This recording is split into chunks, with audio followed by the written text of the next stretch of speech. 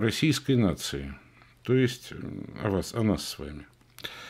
Во-первых, я надеюсь, вы понимаете, что речь идет, и это принципиально, не о русской нации, не об этническом единстве, не о национальном проекте, а о проекте, похожем на проект советского человека. Речь идет о многонациональной российской нации, о законе о гражданском обществе. И обо всех этих проблемах эм, э, русской национальности, возможности или невозможности э, российской нации мы с вами сможем говорить только до выхода этого закона, потому что когда он выйдет, обсуждать его будет, во-первых, противозаконно, а во-вторых, собственно говоря, совершенно бессмысленно. Можно ли таким макаром нас объединить? Миролюбие наше, оно всегда было каким-то очень своеобразным. Сначала миролюбие, миролюбие, потом реки крови.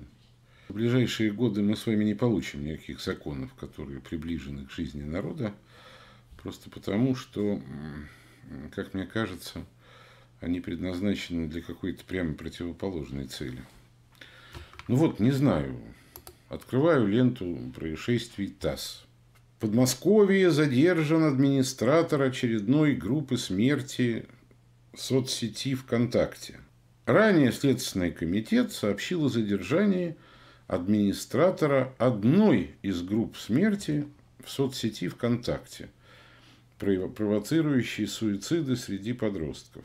Конечно, я чисто профессионально смотрел эти группы. И, конечно, их создателей, администраторов так или иначе надо изолировать, но явление это это социальное, и эксплуатируют они одну очень простую вещь. Смысл их в том, что у тебя нет будущего. Ты никогда не станешь лучшим, как в кино. Ты никогда не э, будешь богатым, потому что э, все э, деньги уже распределены. Тебе никогда не удастся уехать за границу, потому что для этого тоже нужны деньги. Достойно ли человека, скажем, перепродавать наркотики или заниматься еще каким-нибудь дерьмом?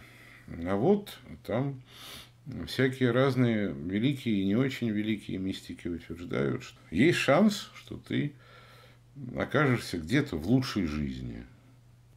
Там, ну, на подростковом языке, еще раз я опасаюсь это цитировать, прямо-таки возникают целые поэмы безнадежности.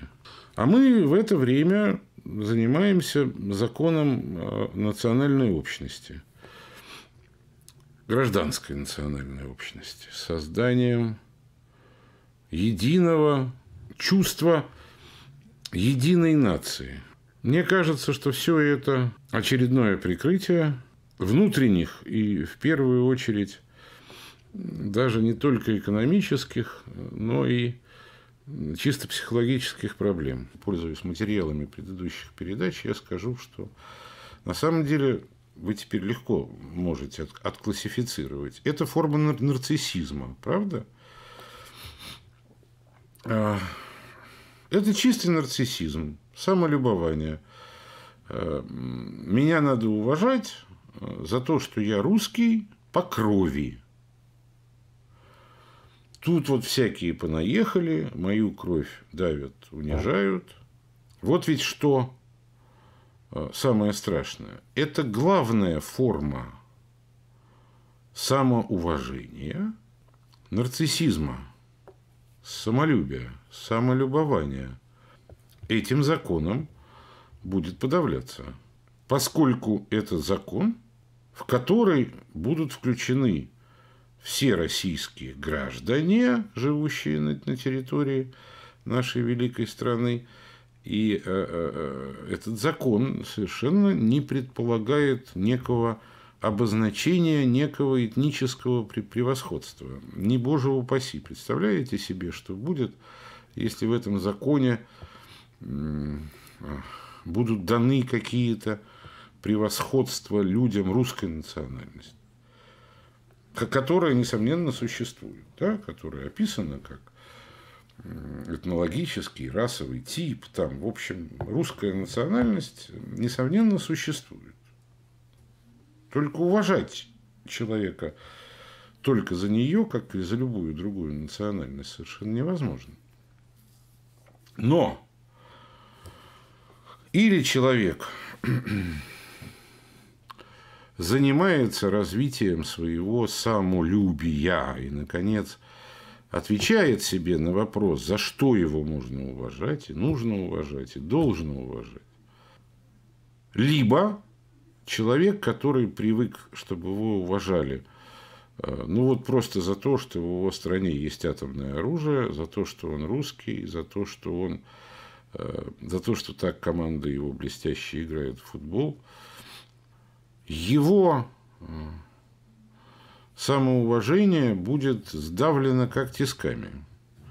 Оно превратится в натянутую пружину, в сжатую пружину, если этот закон будет особенно интенсивно педалироваться. То есть, если об этом законе э, речь пойдет всерьез. Ну, мы же часто принимаем законы, которые как бы там они э, бряцают, как фанфары, и потом о них все забывают как бы такой красивый закон приняли, теперь его можно не соблюдать совершенно спокойно. Любые механизмы консолидации, давайте это так назовем, у нас идут от противного.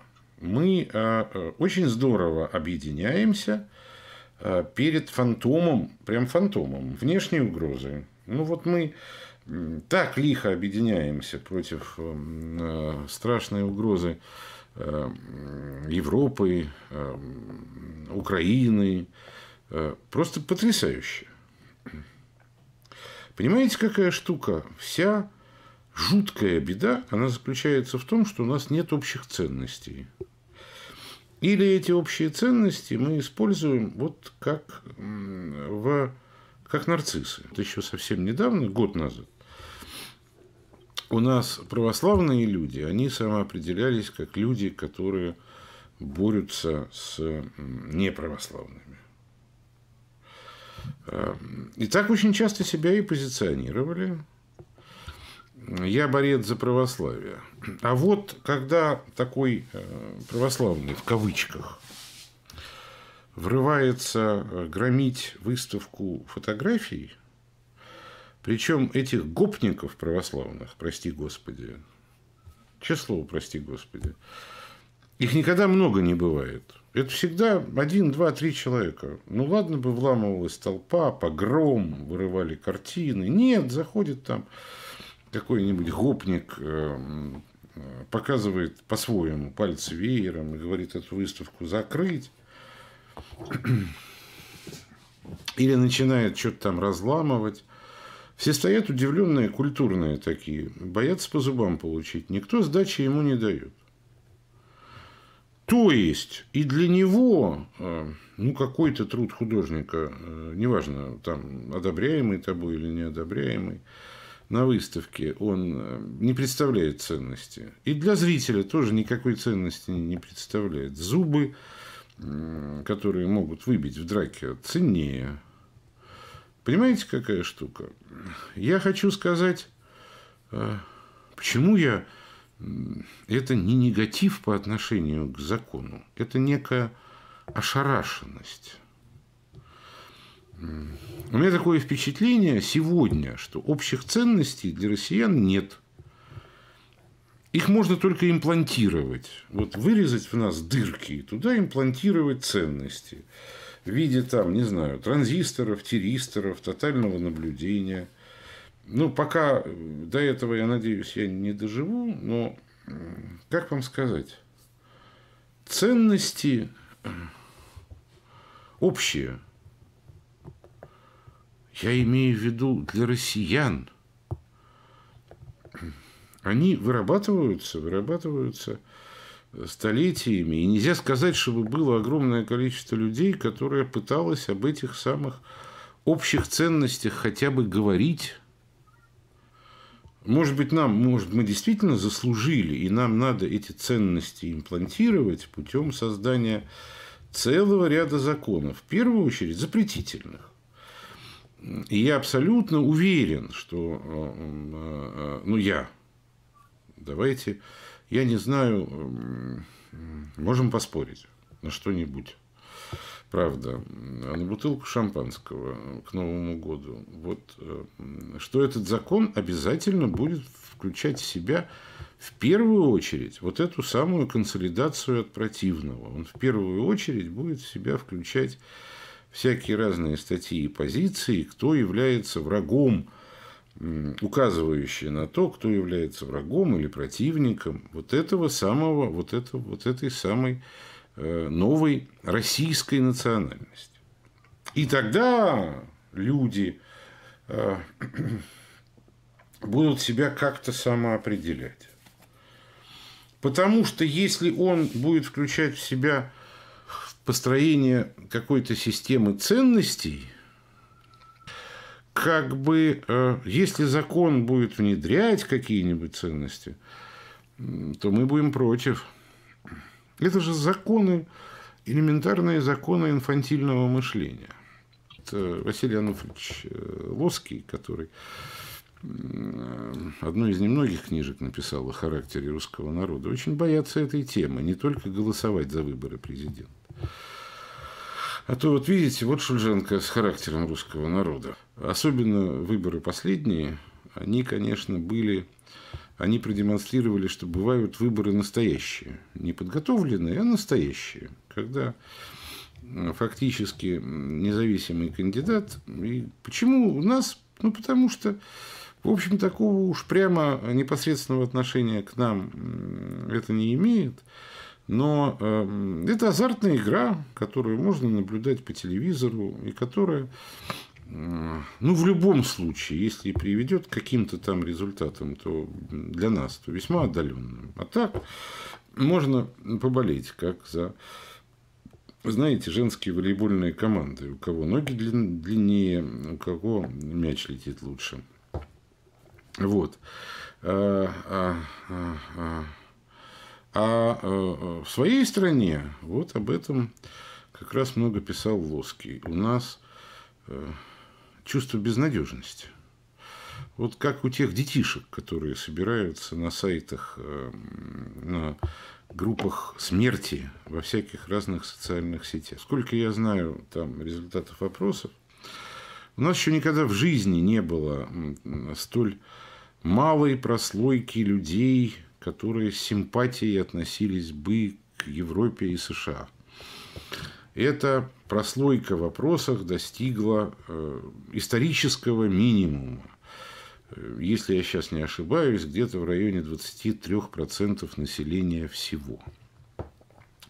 Но вся беда в том, что когда ты строишь свою культуру на противостоянии врагу, то в результате оказывается, что ты ему э, завидуешь, считаешь, что у него все лучше, и поэтому на самом деле в тайне пытаешься ему подражать. Помните, как цель э, жизни по Никите Сергеевичу Хрущеве, по Никите, по Никите Сергеевичу Хрущеву. Догоним и перегоним Америку. Разве нет? Ну вот мы ее как-то все время догоняем и перегоняем. А все, что касается своей страны, то в ней мы крепостные, в ней мы чувствуем себя абсолютно безнадежно. Я только поэтому группу смерти вспоминаю. Потому что вот эта компания, которая собралась на картине Василия Шульженко, эта компания собралась... Э, это очень униженная компания. Это компания, которая хочет показать свою значимость в одном отдельно взятом микрорайоне, более того, на одной отдельно взятой тропинке. А, вот это мы можем. А во всем остальном мы дети, которые хотим, чтобы а, папа нас вел куда-то, И э, неважно, этот папа будет с железной рукой или с не очень железной рукой. А сами мы, чтобы ни за что не отвечали и шкодили вот в этом вот э, отдельно взятом микрорайоне на отдельной картинке. Вот это нам надо разрешить, а все остальное можно запрещать. А еще нужно, чтобы появился закон о том, что мы хорошие. А назвать патриотизмом можно и национализм. Но патриотизм – это все то же самое. Это ощущение ценности э, тех смыслов, которые существуют внутри твоей культуры, внутри твоей уникальной цивилизации. Именно ценности, ясно их осознание. Что у меня в моей культуре, в моей национальности, в моей стране есть несомненно ценное. Когда я могу это несомненно ценное ясно перечислить, когда я знаю корни своей культуры, когда я знаю основных ее мыслителей, основных ее писателей, не просто знаю, а люблю – ну, как вам сказать, для меня не может быть патриотизма, ну, как минимум, без любви к Толстому и Достоевскому. А когда я их прочел, понял, принял в себя, ну, не всего, не всего Льва Толстого, не все 90 тому. Но когда я что-то главное во Льве Толстом принял в себя, не могу искренне сказать, мне, я люблю этого человека, Льва Толстого, он мне близок. Он мне не чужой. Я не кривлю рожу от объема э, войны и мира. И от объема, э, и в общем сложности братьев Карамазовых я тоже рожу не кривлю. И когда я могу о них, о них, например, с европейским человеком поговорить, потому что э, очень многие европейцы, в отличие от русских, читали и любят и Толстого, и Достоевского, и иногда просто поражаются, до чего мы, мы дошли. Ну, это я имею в виду там очень высококультурных, конечно, людей. И тогда вот это для меня и есть патриотизм. А все остальное, вот это посконно-кондовое, а, это не патриотизм. Это нарциссизм, который рядится в одежке, в одежке патриотизма. Это такой способ самолюбования собственным пупком. Их патриотизму он ни малейшего отношения не имеет. Это если я э, э, и Ленина чего-то почитал, и Троцкого, и Сталина, и, в общем, что-то для себя понял – и про эпоху Николая I, э, на которую так похожа наша современная эпоха, что прямо э, взгляд оторвать нельзя. Ну, как бы это выразиться? Патриот – это некоторый смысл, это возможность говорить о своей родине, а национализм и фашизм вместе с ним – это любование своей кровью или формой своей рожи, или цветом своих волос – и это не патриотизм. Я не самые худшие варианты Шульженко выбрал для сегодняшней программы. Но вот с этими лицами я хорошо знаком. Увы, вы счастливый человек, если вы их не знаете, этих лиц. А вот с этими нет. Я не знаю этих лиц. Вы знаете, замечательно, вы счастливый человек. К сожалению, для меня вот эти вот попытки найти единство не с помощью нахождения смысла, а с помощью закона, который позволяет опять что-то контролировать, они предвестники развала, увы. До послезавтра есть время. Давайте в четверг вечером попробуем поговорить про фильм «Авиатор» Скорцеза, ну, чтобы просто хотя бы немножко разбавить наш поток философских размышлений. Если я небольшой специалист по политическим проблемам, все равно я ужасно рад вас видеть и очень благодарен, что вы до сих пор с нами. Спокойной вам ночи.